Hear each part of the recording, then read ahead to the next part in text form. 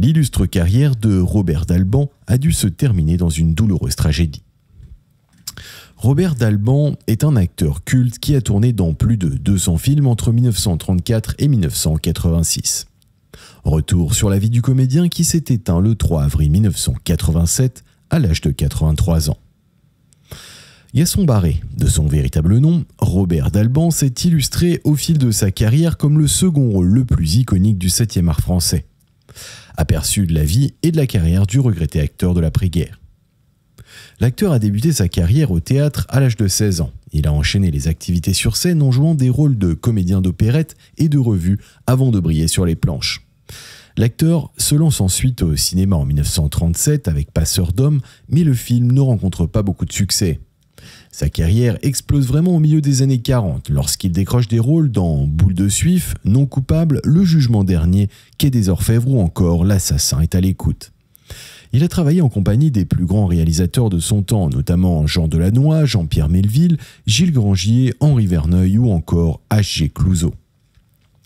Acteur aux multiples talents et polyvalent, il a enchaîné des rôles de capitaine, serveur, camionneur, pharmacien, boucher.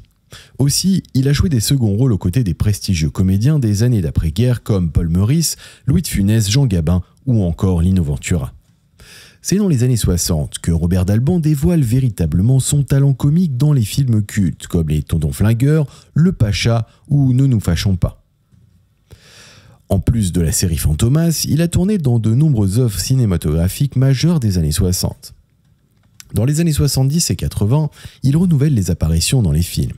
En 78, il apparaît dans l'inoubliable comédie Coup de tête, réalisée par Jean-Jacques Hano, où il donne la réplique à Patrick Devers.